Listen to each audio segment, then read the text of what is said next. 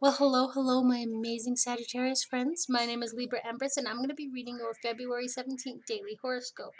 Now, remember that these readings are general readings, and they're for yours as well as for my entertainment. So, without further ado, let's get started. Now, Sagittarius, a difficult conversation you've been dreading could go a lot better than expected. It turns out that other people have been whispering in this person's ear and warning them about the things that you've been wanting to talk about. This person is ready to talk to you and work with you. There's going to be a great deal of positive collaboration overall.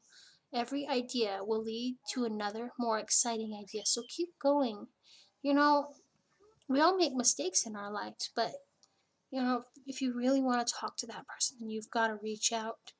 And it could be for the better or it could be worse, but either way, you're going to get concrete um, clarity. All right?